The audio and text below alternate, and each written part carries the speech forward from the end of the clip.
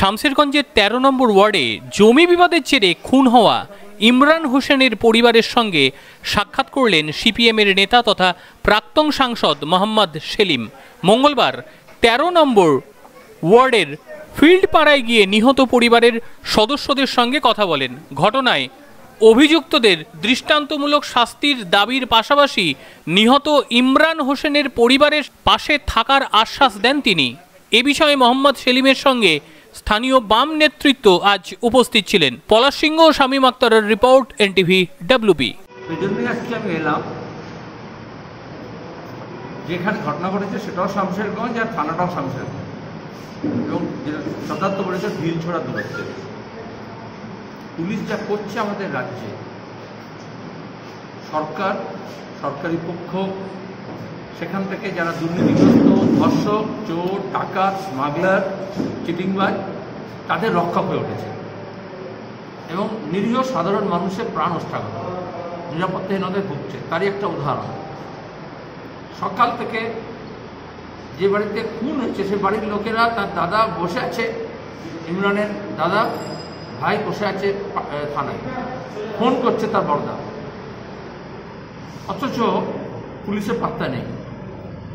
আমার মনে হয় এই খুনটা ইমরানের যে খুন হয়েছে, এটা দুষ্কৃতিকারী যারা ল্যান্ড মাফিয়া, এবং ল্যান্ড মাফিয়া হলে যেটা হয়, একটা যারা এইসব ধরনের কাজকর্ম করে, অপরন্ত টাকা, এবং সেই টাকার বিনিময়ে পুলিশ পার্টনারশিপও হয়েছে এই জন্য বাড়ির লোকেরা এটা বলেছে, যেমন এফআইআর করেছে, অপরাধীদের নামে, কিন্তু চোখে দিনের আলোয় হয়েছে। সকাল সকাল হয়েছে, সবাই দেখেছে। ভিডিওগ্রাফি আছে। আর এই জন্যই পুলিশ ওখানে যায়নি। পরে যখন পুলিশ পৌঁছেছে, তখনও সশস্ত্র দুষ্কৃতীরা উপস্থিত। তাদেরকে পুলিশ দায়িত্ব নিয়ে সরিয়ে দিয়েছে। প্রথমে অকুস্থলে পৌঁছায়নি। আগে ওদেরকে সরিয়ে দিয়ে আমি শুনলাম এবং তারপরে এসছে। এবং সেখান থেকে এখন পর্যন্ত অপরাধীকে ধরা সেটা তো ছেড়ে দাও। এমনকি সঠিকভাবে তদন্ত করবে তার কাজও করছে না। এবং মানুষ, পরিবারের লোকদের সঙ্গে কথা বললাম। তারা যে থানার যে ওসি তার বিরুদ্ধে ক্ষোভ উঠে দিয়েছেন, কারণ ব্যবস্থাপনা হয়েছে তার দ্বারা। কারণ আগে পরে ঘটনা থেকে বোঝা যায়, ফোন করছে, ফোন তুলছে না। এসপিকে ফোন করেছেন সেখান থেকে, তারপরে এসপি যখন থানায় বলেছে, তখন থানা থেকে জিজ্ঞেস করছে কোথায় ঘটেছে। যখন লিখিত অভিযোগ নিয়ে থানায় বসে আছে লোকজন এবং ফোন করছে বারবার বাড়ির ছেলেরা। ফোন তোলেনি, তুললেও বাড়িতে বসে আছে। এই জন্য আমার মনে হয় অবিলম্বে সমস্ত দুষ্কৃতি যারা নেম এফআইআরে নাম আছে যাদের, তাদেরকে ধরতে হবে এবং তাদের চরম শাস্তির ব্যবস্থা করতে হবে।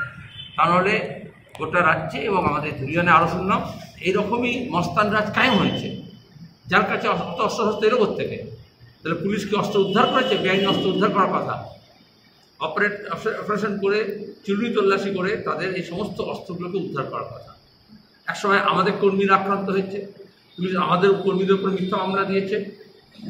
অথচ তোর অপরাধী পুলিশ ধরেন। আজকে আমি এখানে আসার পরে আমি আমাদের কমরেডে দেখলাম, বেশ কয়েকজন বলল যারা এসে, মিছিলে গেছে মিটিং গেছে, তার জন্য তাকে মিথ্যা মামলা দিয়েছে। আর এখানে নেম এফআইআর আছে, তাকে ধরছে না। কারণ উপরতলায় যোগ সাজস আছে। দ্বিতীয়ত, ক্ষতিপূরণ দিতে হবে ওই পরিবারকে। আর ল্যান্ড মাফিয়ার তো কাজ হচ্ছে ভূমাফিয়া বলে এটা জমি দখল করা। আজকে ইমরানদের বাড়ির জমি দখল করছে, মস্তানি করে, খুন করে। কালকে যে কোনো নিরীহ যারা ব্যবসায়ী আছে, দোকানদার আছে গৃহস্থ মানুষ আছেন, তাদের সম্পত্তি তারা লুট করবে। যারা ভোট লুট করে ভোটের সময়, তারা ভোটের সময় সবসময় তারা লুট করবে না। তখন অন্য জিনিসগুলো লুট করে, তখন দোকান লুট করে, তখন হচ্ছে ঘর লুট করে, জমি লুট করে। আর এই লুটেরার সরকার তৈরি হওয়াতে পুলিশও লুটেরাদের ঘটনায় শাসক দলের কর্মাধ্যক্ষর দিকে আগুন উঠেছিল এ বিষয়ে কি বলবেন? শাসক দলের যোগ সাজেশ নিয়ে।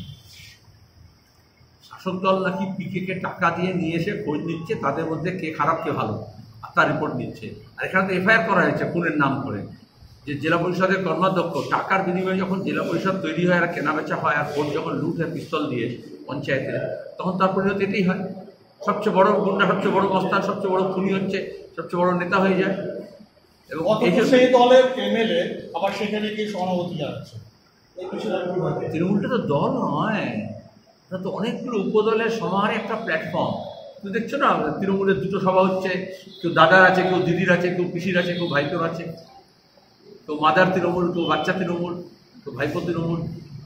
তো এখানে দাঁড়িয়ে সেগুলো কোনো মানে নেই। এমএলএ, এমপি, মন্ত্রী কোনো মানে নেই।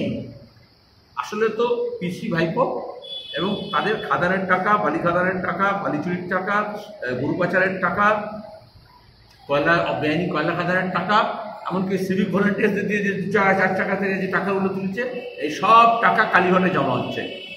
আর কালীঘাটে জমা করছে যে এসপি, যে ডিএসপি, যে আইসি ওসি তাদের পোয়া বারো আর তারা টাকা তোলার জন্য এই ধরনের খুব খারাপ লুট চালানো চালিয়ে যাচ্ছে লুট কারবার এই হত্যাকাণ্ডের পিছনে যার হাত রয়েছে বলে সবাই মনে করছেন, সেই জেলা পরিষদের সদস্য, তিনার বিরুদ্ধে আবার থানায় বর্তমান শামশেরগঞ্জের বিধায়ক ধর্নায় বসছেন। এই বিষয়ে আপনি কি বলবেন? গোটা দেশে এবং আমাদের রাজ্য আসলে সরকারের নামে সরকারি দল দুটো, কোথাও বিজেপি, কোথাও তৃণমূল সার্কাস চালাচ্ছে। সার্কাস পার্টি এরকম হয় না। এক সময় এসে খেলা দেখায়, আবার ড্রেস পাল্টে আবার কার্টুন ক্লাউন হয়ে যায়। জোকারের কাজ করে। তো ওই রকম দলগুলো এরকম হয়েছে যেখানে তোমরা খালি ভিজুয়াল কালেক্ট করছ, আর এগুলো হচ্ছে ফটো অপশান দেয়। যারা আদিবাসীকে মারছে গোটা দেশ জুড়ে, দলিতদের আত্মসায় গণ্ড হয়েছে, আবার অমিত শাহ এখানে এসে সেখানে দলিতদের বাড়িতে গিয়ে আর আর তোমার কি আদিবাসী বাড়িতে গিয়ে খাচ্ছেন না। তো কোনটা নাটক আর কোনটা আসল, এটা তো কোনটা আসল না ধর্নাটা আসল, সেটা বুঝবে কী করে তুমি? ইমরান হোসেনের পাশে দাঁড়িয়ে আপনারা কি ঊর্ধ্বতন কর্তৃপক্ষের কাছে কোথাও যাচ্ছে অবশ্যই, পুলিশে শাস্তি দাবি করছি। আমাদের জেলা থেকে আমরা এসপির কাছে দাবি করব যে এই জেলার তার নাম একটা রাজ্য লেভেলে করছি